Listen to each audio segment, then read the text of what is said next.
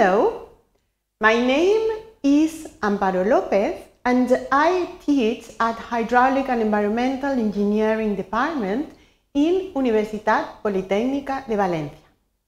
In the learning object of today, we will learn about hydraulic machinery for energy conversion, giving solutions from renewable source from big to small size.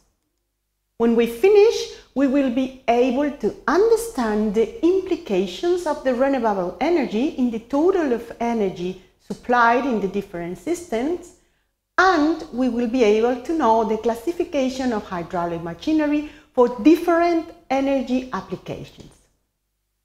We will be speaking about the need of energy for transformation and development, the energy conversion as the renewable energy source, the hydraulic energy among other renewable sources, what's hydropower, we will be speaking about from big to small and finally we will conclude.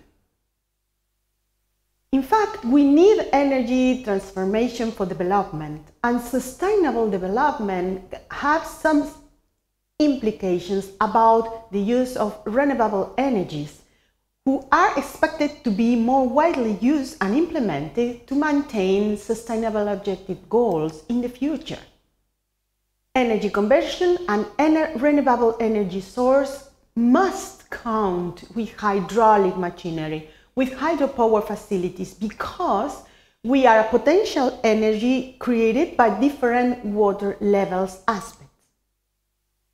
In general, in a human time scale, we are in a future, in a near future, using renewable energy source.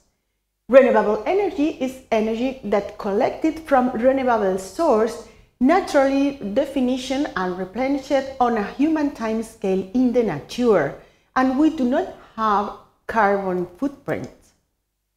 Hydraulic energy is a very important part of this sort of energies among others like wind, like uh, solar or different. In fact, many countries are implementing them more and more and it must be an alternative to fuels energy with carbon footprint. Hydropower is this energy obtained from the potential energy of water and moving water and we need a shaft or turbine or any machine, any mechanical aspect to convert this energy. In fact, hydropower machinery must be considered in some open channel systems and some pressurized systems. In fact, we have traditional machines, pumps and turbines, and adapted machines who can be used instead pump or turbine, both combined in pressure systems. These are very important because we, have, we can get the best efficiency in this sort of machines. In fact, we will consider the flow versus the head and see how is the flow and head treated if it is more vertical machine with more head than flow or more horizontal one. In this case, we will have these Pelton turbines in more or less in these parts of the scales. We have the Francis in the middle one, Deriaz, Kaplan and other valve cross flow. It depends on the degree of reaction of the machine, the transformation in between velocity and head inside the machine. But all of, all of them, all these turbines, can be as big or as small as we want or as we need in order to get energy from different heads and different flows. For example, here we have some Pelton machines, bigger and smaller. Here we have Francis machines, very big and very small, used in scale of lab. Or we can have these Kaplan machines, bigger or smaller in different sizes. And all of them will transform energy of flow and head into mechanical energy of inertia and velocity. In general, we can use also machines in reverse operation, which are pumps as turbines. In this case, we can use them as pump giving energy in sort of hydraulic energy or as turbine getting energy from energy in hydraulic manner.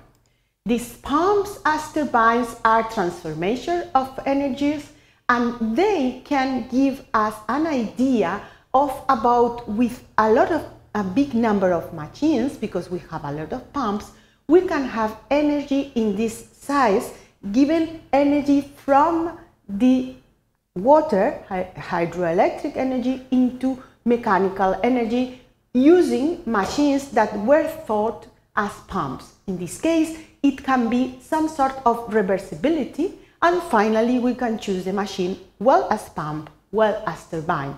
And these are a solution for a small, small operation levels. As a conclusion, we want to see that renewable energy is a need to achieve sustainability in energy source. Among all renewables, hydraulic energy is a solution that can be used and implemented in a wide range of applications and hydraulic machinery are the mechanical solution, the technical solution to get this energy coming from different sources and without carbon footprint.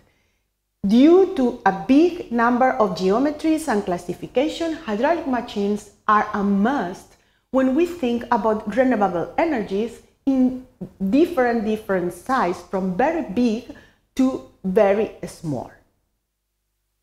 That's all I wanted to tell you in this subject. I hope it was of interest on you. Thank you very much indeed.